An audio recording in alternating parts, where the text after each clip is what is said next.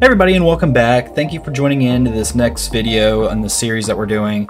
Uh, in the previous videos, we had set up the crouch and the walk uh, booleans, action inputs, etc. So what we're going to do in this video is we are going to quickly set up the sprint input action to get that going. So that way in the next couple videos, we can focus on setting up all the other functionality for it, right? So let's go ahead and jump right into it. So I'm in the third person character blueprint as from our last video. I'm going to go into the third person map this is just something I like to do personally, just to get a good visualization of like kind of where everything's at. It looks cleaner to me. You could definitely come just be in the character blueprint and go at it from here, but for some reason it doesn't save my last position in here unless you do it there. So if you ever close out of the third person character blueprint and then you know go back into it it just doesn't seem to save your location. So that's why i'm always jumping back in here since this is where i've technically docked my content browser and this is where things are saved. So since we're in the content browser go ahead and go to third person input and then actions and let us create a new input action called ia sprint. There we go. So now we got that. So with this, now let's go ahead and go into our IMC defaults and we are going to create a new mapping and we are going to call the IA sprint here.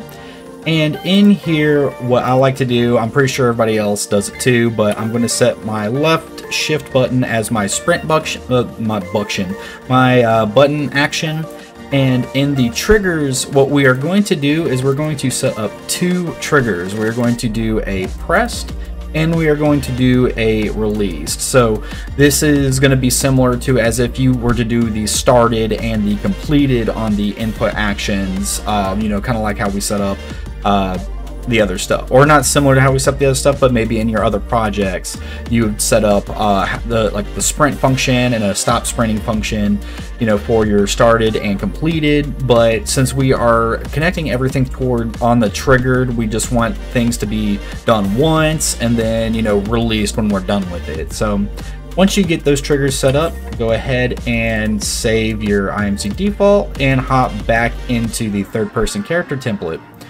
So then once in here, let's go ahead and call our IA sprint. And we are now going to grab our, let me see, we, it should be the wants to walk oh, and wants to sprint. Yeah, so we're going to be getting our set nodes instead of the get nodes for these because we want to set our sprint and we want to set our walk. So go ahead and alt left click and drag both of these out here so we get our set nodes. So with the sprint, we're going to have the sprint uh, set node first, and we are going to connect the triggered onto that, and then we are going to grab the action value and put it into our wants to sprint. So that way when we press and release, it toggles the wants to sprint, wants to walk, stuff like that, because you know, since that's how we have the trigger. I'm not quite sure because I haven't really tested it, but it's also similar to how we have our aim. I think, you know, once you press and release, how it toggles, untoggles. If we didn't have the action value connected, I think it still does that, but again, I haven't really tested it. And again, I'm only, you know, kind of what I mentioned in one of my earlier videos, like a couple months into learning Unreal Engine, so I haven't really researched that because it's not something that really has come to mind, but that's the one thing that I imagine. So now after that, let's go ahead and connect our wants to sprint set node into our wants to walk set node, and we're going to leave this as false. So in the last video when I talked about our walking inputs and our actions, how we are basically inversing, you know, whatever our get nodes here into our branch and our whatever our value is in our wants to walk and inversing that into here. So that's how we are able to oppose each other and then also oppose each other here because we have the basic values set here. And so then if we are pressing the sprint input action, we are setting that to true and then we are not wanting to walk. So, you know, if we are setting this to true, then when we go back into our walk, this will be true, and then we inverse that to being false uh, to be a false value and so since we have nothing on our false we do not walk or we don't do anything.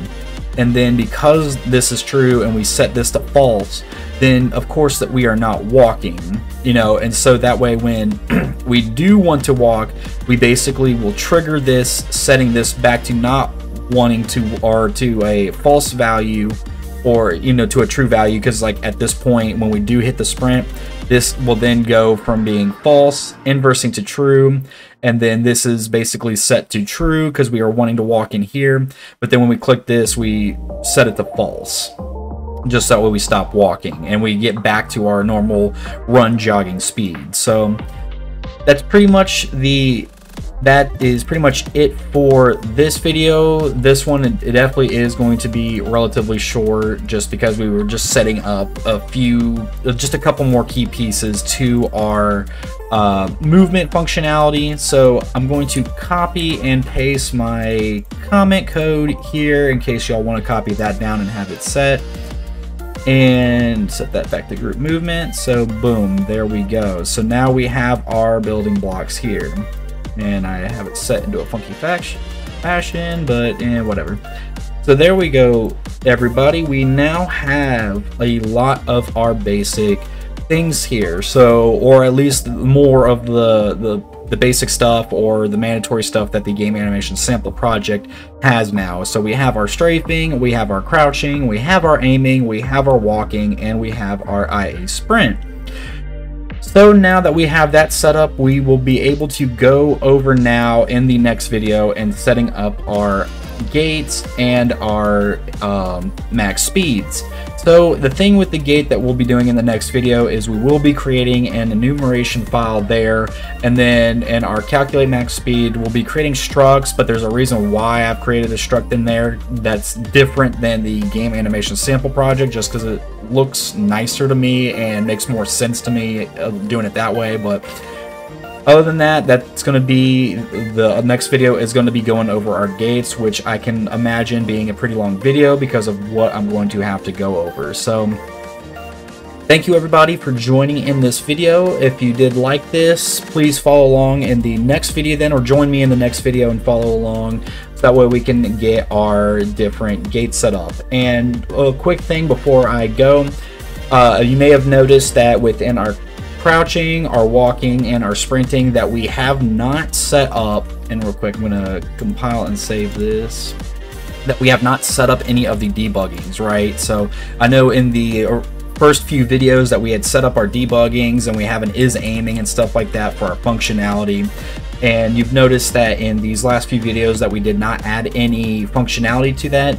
And that is because we'll be getting our debugging functionality in the next video when we set up our gaits. So that way it's all there in one because I didn't want to add you know six more text blocks. We would just want the one text block that will change corresponding to our movement input or our desired movement input right? Or our desired gait so it's much simpler that way, much cleaner. And also, uh, you know, I kind of forgot to mention that in a couple videos, but that's why I want to mention it now because that's one of the things that we will be updating in the next video as well. So like I said, guys, if y'all did enjoy this, please join me on the next video where we then go over updating our movement functionality. So, other than that, everybody, thank y'all for joining, and y'all take care.